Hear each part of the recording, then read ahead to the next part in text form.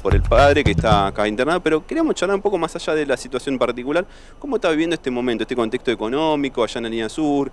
Digamos, vos ves que la situación está mejor, peor, ¿cómo está la situación económica? Bueno, allá en la línea sur está peor. Hay que ir eh, más o menos, tener 3, 4 horas de viaje para poder llegar y sacar la leña y cargarla en una camioneta. Porque mi esposo, él trabaja eh, peón de campo. Y vos me decías la línea sur, ¿en qué parte particularmente de la línea sur? Yo vivo en el paraje Praguan y Yeu.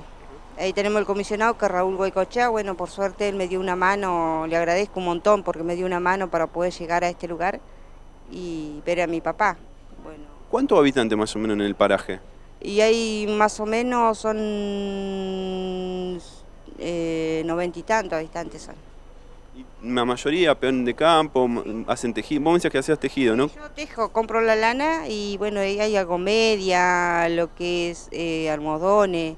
Y bueno, lo vendo a un precio que la gente me puedan comprar. ¿El Estado está presente, por decirlo de una manera, o cómo, cómo, cómo es la relación? No, allá no. Allá nosotros para pedir una ayuda económicamente, si uno tiene que hacer un, levantar un techo, porque tengo mis hijos estudiando en Menuco, el tema del alquiler no te ayuda allá nadie, eh, tenés que bancarte de tu bolsillo.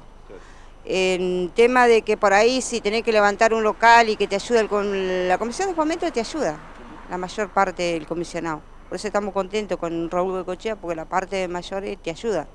¿Viste? Lo que es un techo, más el gobierno no te aporta. Yo no tengo asignación, no tengo un sueldo, no tengo nada. ¿Viste? Yo vivo de lo que mi marido trabaja y, por ahí, bueno, por el tema del pasaje que yo tengo que venir, irme y venir, eh, le pido ayuda al comisionado.